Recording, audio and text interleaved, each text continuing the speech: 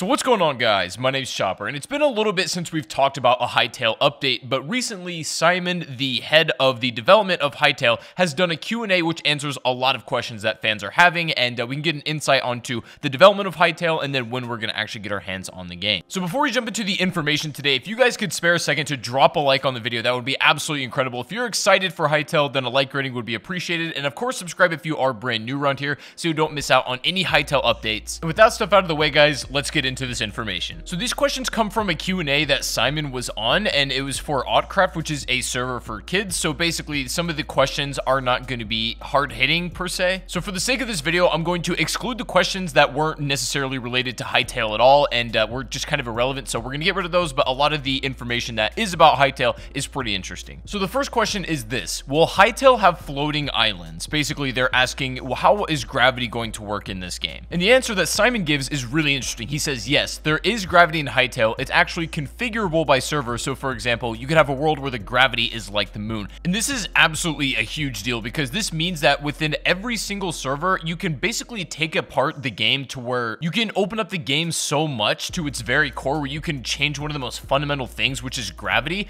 And you can make it either really, really high gravity where people cannot get off the ground or extremely low gravity where every time you jump, you go 50 feet into the air. You know what I mean? And this is all customizable by your own server. Now, the thing about this answer is that it didn't really cover what the actual question was because it doesn't, you know, get into detail about how that affects blocks. That's actually going to be a little bit later. But to me, the way I look at it is you can take this answer in a more broader sense and you can see the things like gravity and just the most fundamental basic elements of video games are going to be able to be tweaked to your liking. Now, the next question about Hytale is a pretty good one. They say, what are your plans for integrating different social platforms with Hytale? Will there be native account linking or will devs have to have plugins slash mods to do so? And Simon's answer is this. When it comes to account linking for Hytale on social platforms, we are still in talks with some people, but nothing concrete yet. When it comes to social features for Hytale, we actually have friends lists and such. We also got YouTube and Twitch working in-game, but they're not social features. Now, to me, the question of this was way more interesting than the answer that Simon gave, because in my opinion, it is a really big deal about how Hytale in integrates different, like, you know, creators' social platforms, because the way that Twitch and YouTube is nowadays, I think it's fundamental to the success of this game,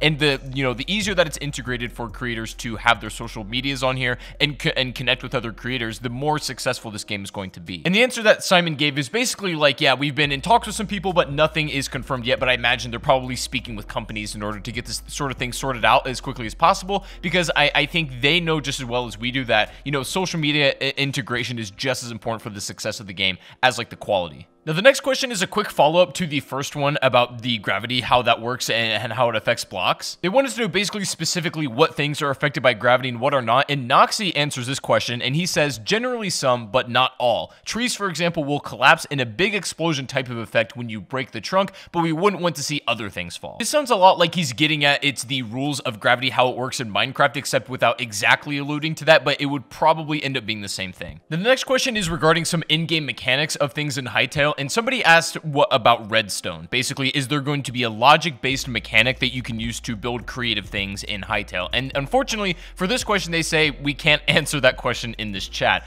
But this is basically an answer of omission, if you ask me. The answer to this question is essentially yes, there are indeed logic-based mechanics, but we can't spoil them right now. We don't want to tell you what they are in order to avoid spoiling any part of a game, and I can completely respect that answer and then not wanting to talk about it too much, but at least we have kind of like a like a wink-wink idea that yes, there are some things like redstone in Hytale. Now, this next question is kind of general, but it's pretty intriguing, the answer that Noxy gives. Somebody asked, "What? how did you come up with the idea for Hytale? And Noxy pretty much says this, we realized we had reached the limits of what Minecraft would let us do, and the entire team wanted to keep working together, so it became clear to make our own game. Now, here's the thing is like, I think it says a lot about the ambition of what they want this Hytale project to be if they feel like they've reached the limits of what they can do with the Minecraft, because Minecraft might be one of the most sandboxy and, and expansive games just as far as like your creative knowledge goes, and you can do almost anything you want in this game, literally anything with mods when it comes to that stuff. But if they feel like they've reached limits with Minecraft, and so they needed to expand and make their own game, then clearly they have some absolutely mind-blowing stuff that's coming up. So the next question is, is Hytale going to focus more on the creative or PvE aspect of the game, whatever you would like to call it, or is it going to focus on more of the PvP and competitive side of the game? And so the answer to this is basically these two concepts are not mutually exclusive, meaning that you need both of these to work as well as possible for Hytale to work as a fully functioning unified game. And I completely agree with this answer. I think it needs to have a very healthy aspect of the PvP if it wants to stay live just beyond the creative build of the game. Otherwise, you know, it can fall into obscurity,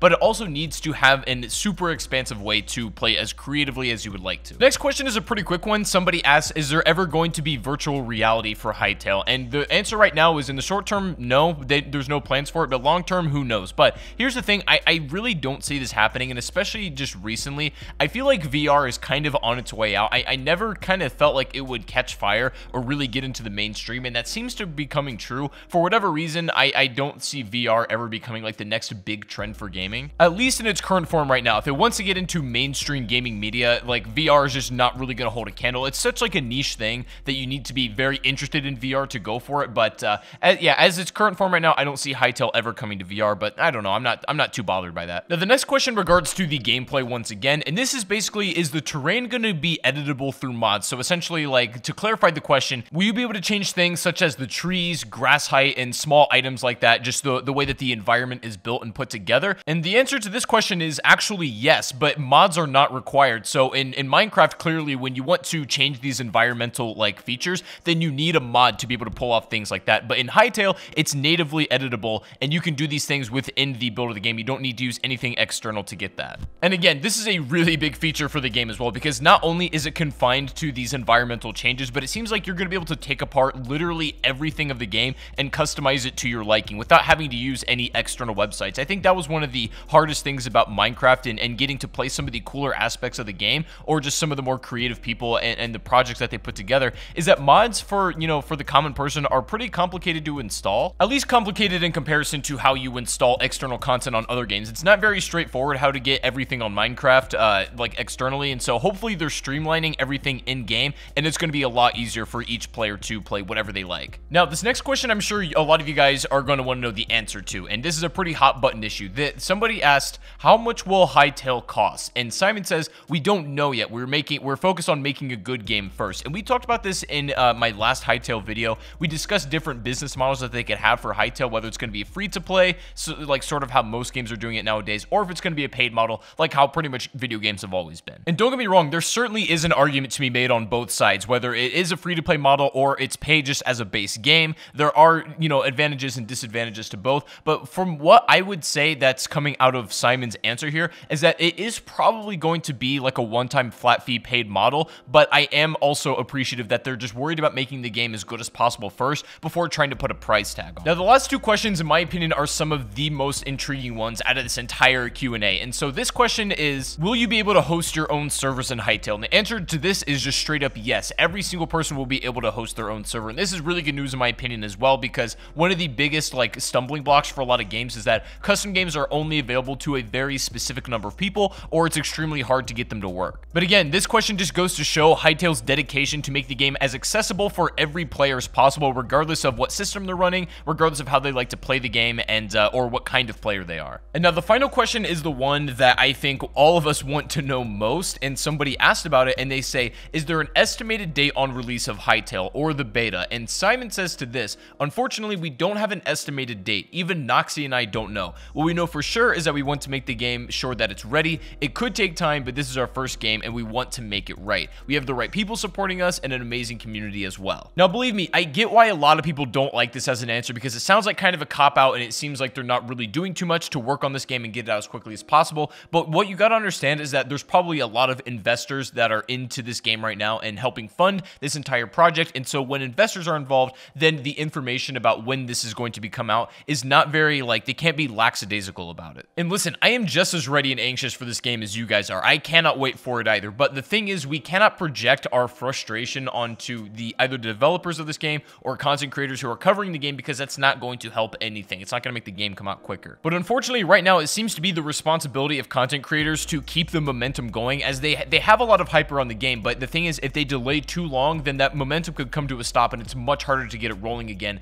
than if they release the game as the momentum is already in motion. And so it, we're, we're basically trying to keep the hype going as long as possible and buy them time to get the game out. It's hard to say exactly when this game is going to release, but we know that it's not money that's an issue. We know it's not manpower that's really an issue. It's just a matter of getting the game to a quality where they're ready of releasing it. And at least know we're at a point where they're ready to talk about the game in Q&A such as this, so it's probably pretty close to be done with production, or at least to a point where we can expect a beta soon or the full release of the game at some point. So I'm going to keep you guys updated on anything that comes out with Hytale's information. And again, just like you guys, I'm just as ready to jump into the game as you all are, and uh, I'm, I'm super excited as well. So all we can do at this point is have patience and, and you know, help Hytale guide its way into getting this game out as quickly as possible with as much quality as they possibly can. But I've got very high hopes for this game, and I absolutely cannot wait to play it. But anyways, guys, I hope you enjoyed the video. If you did, make sure to leave a like rating, and don't forget to subscribe if you are branded to the channel so you don't miss out on anything like this as well. And I'll see you all in the next live stream or the next video. Take it easy, and peace out.